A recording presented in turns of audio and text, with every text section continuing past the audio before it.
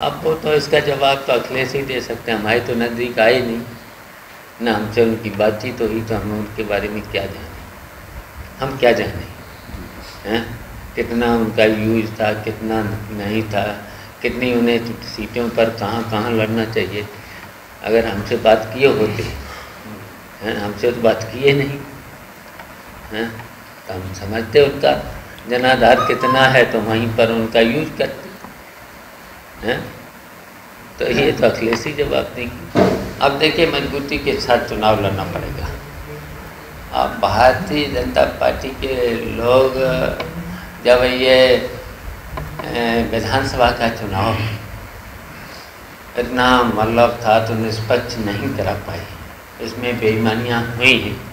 इसमें जो मैंने कहा, बहुत खूबसूरती से चालाकियाँ हुई चुनाव आयोग से लेकर के अधिकारियों के माध्यम से तो उसका तो मुकाबला करना पड़ेगा समय कितना धन खर्च हुआ है?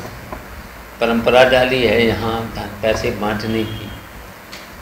पैसे तो ये परंपरा गलत चाल है भारतीय जनता पार्टी के लोग वो देखिए लोकतंत्र को तो खतरा है ही। लोकतंत्र के साथ साथ जो भी इनके निर्णय हैं भारतीय जनता पार्टी के। देश के लिए बहुत ही खतरनाक हैं। इससे देश आगे चल कर के बहुत कमज़ोर होगा। और लोकतंत्र को भी खतरा।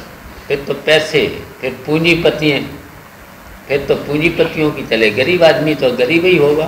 दादा आपकी पार्टी प्रगतिशील समाजवादी पार्टी उसको लेकर क्या क्या संदेश जा रहा है? अभी हमारी पार्टी रहेगी। पार्टी रहेगी। हम और लेकिन हम मिल करके रहेंगे मिल के रहेंगे।